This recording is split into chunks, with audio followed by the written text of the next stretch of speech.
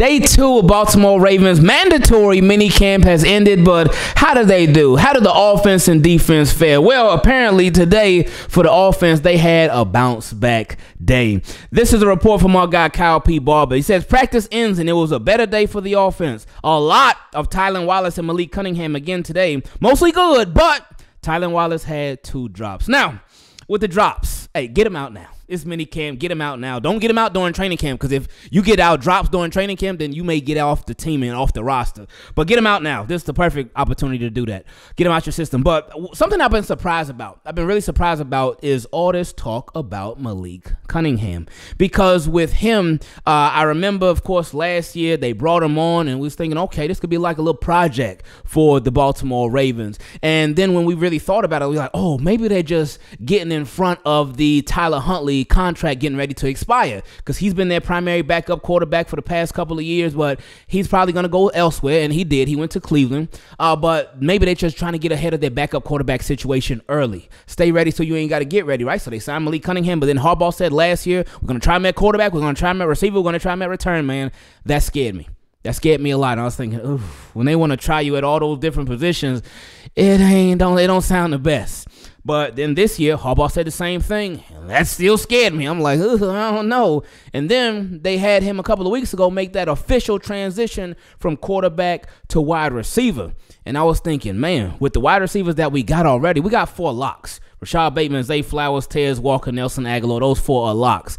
And then the other two positions, it's going to be a battle, but it's Tylan Wallace and Deonte Harty. You would think those guys are the favorites right now. Things could, of course, change. You never know but those guys are the favorites. So anybody else competing for a wide receiver spot behind them is tough. It's going to be really tough, but especially for somebody that's been making a transition from quarterback to wide receiver full time. That that is a big change. That's a big position change. Now I get it. Like straight up, if somebody's a baller, they're a baller. Somebody that could play, they could play football like straight up. Whether it's a quarterback, receiver, uh, cornerback, safety, whatever. If you can play, you can play and teams will find a position for you. But with Malik Cunningham, I just wondered, can he be like that for the Baltimore Ravens? Well, apparently they see something in him, and he's continued even before today. We keep hearing his name with him just making play after play after play. So I, I just been really surprised by it all. Surprised in a good way, of course, but I've been surprised uh, the fact that we continue to hear his name so much. But that is a positive sign for his transition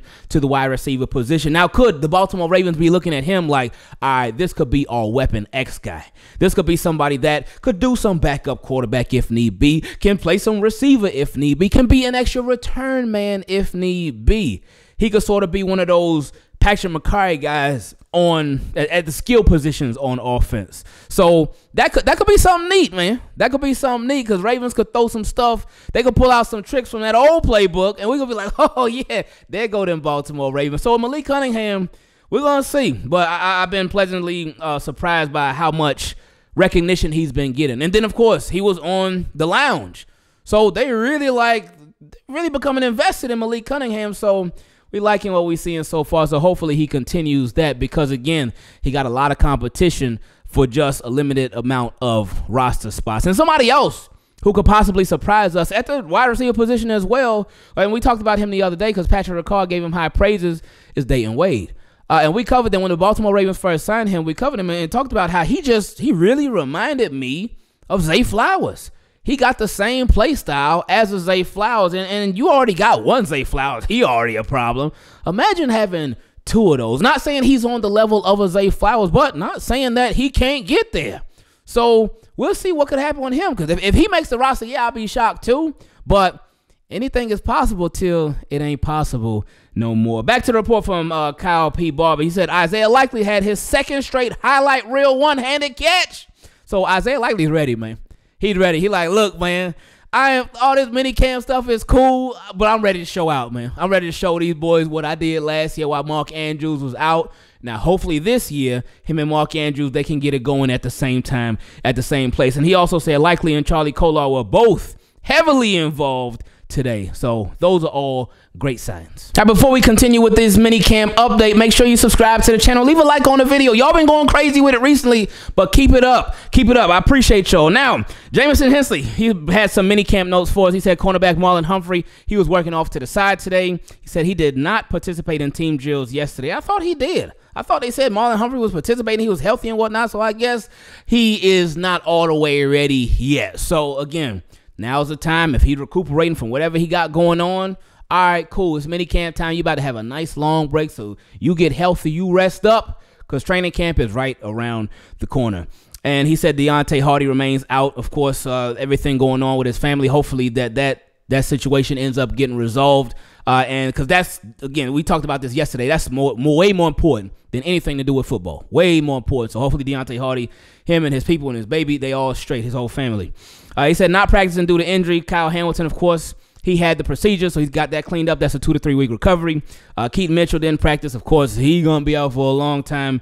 And then Adisa Isaac got a little hamstring injury, so maybe they need to get him some Gatorade and bananas. Now, earlier we talked about how Malik Cunningham he could sort of be the Pat Mekari of the skill positions on offense, but let's talk about the actual Pat Mekari, who is Baltimore Ravens six man, so to speak.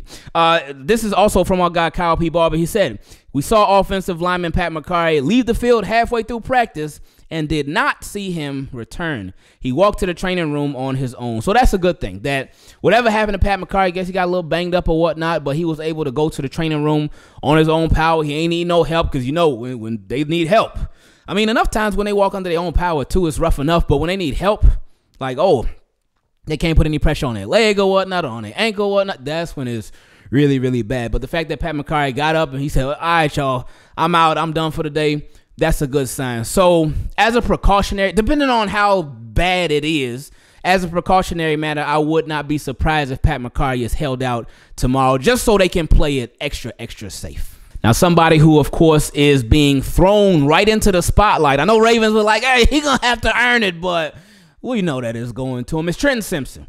Trenton Simpson, of course, is going to be taking over for Patrick Queen. The Baltimore Ravens drafted him last year. And Patrick Queen knew. Remember the infamous tweet. Once they drafted uh, Trenton Simpson, Patrick Queen, he tweeted, sheesh, because he knew what time it was, especially if he wasn't going to be able to get anything done as far as a contract with the Baltimore Ravens. But Trenton Simpson, uh, Kyle P. Barber again, he said he had a solid practice, got a pair of tackles for losses, and put excellent coverage on running backs at times.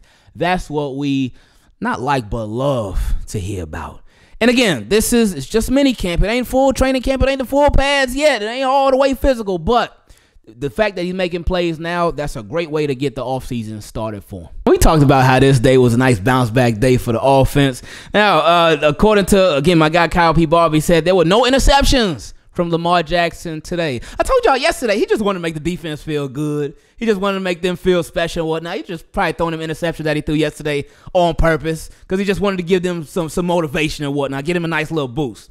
But he said no interceptions from Lamar Jackson today. Was a consistent pitch and catch routine at times with his pass catches. So just sounded very, very basic, very, very simple. They were just doing little walkthroughs on stuff and whatnot, um, and just keeping it simple, nothing too crazy. But at the same time, um, he said he asked QB coach Tee Martin about OTAs and minicamp being a time for more risk in throws. Uh, you don't get a keys to the Ferrari and tell them to go 30 miles per hour.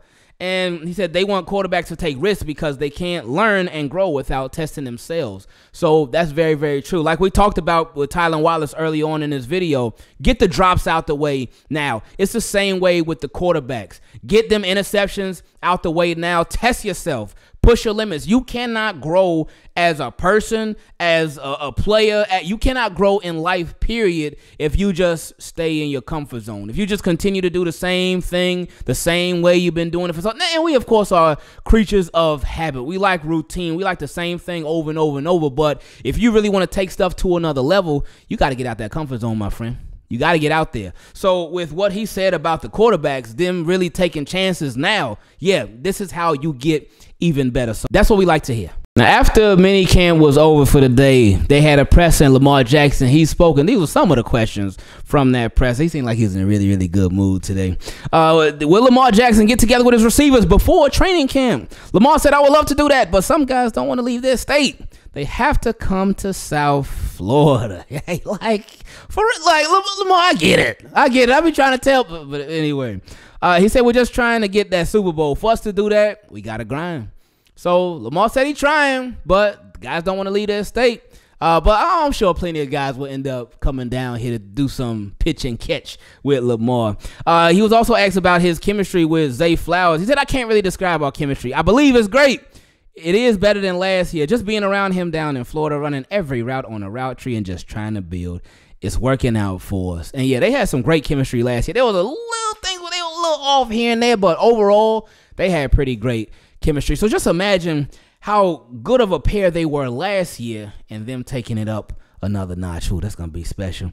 Uh, and then Lamar Jackson on where the offense is right now. He said we're not close to the first game or anything like that, but right now I feel like we're taking steps in the right direction. Guys are moving good, running great routes, catching the ball, blocking good. We look pretty smooth. And yeah, it's early. It's super super early. Just like Lamar talked about uh, last year. He said we don't want to pick too early, and he would always talk about this during the offseason. He said the, the, the season we're not there yet. We're not here yet, and we at the same point of the offseason this year now. They not there yet, and they they getting close, but we still got a ways to go. This is their a lot of these guys second year in this offense. Obviously, for newcomers, it's going to be their first year, like a Derrick Henry, like a Tez Walker. It's going to be his first year. Roger Rosengarten, his first year in this new offense, but for most, the majority of the guys that are uh, in the offense, this will be their second year. So they'll have a better understanding and a better grip of things. So that'll allow them to grow with the offense that much smoother. And I hate to end things on a sour note, but we got to. PFF, they did a predicting the winner of each AFC division. And for the AFC North, they predicted that the Cincinnati Bengals,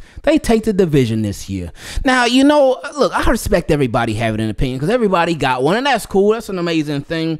But really, the Bengals, I get Joe Burrow, he's cool. They got Ja'Marr Chase. Will they have Tee Higgins? Hey, who knows right now? Hopefully not, but we'll see. But you got to look, the way I look at it is like, look, when the Bengals they took the division, it was only cause Lamar Jackson he got hurt. So a healthy Lamar Jackson, a healthy Baltimore Ravens, I say the division should go to them.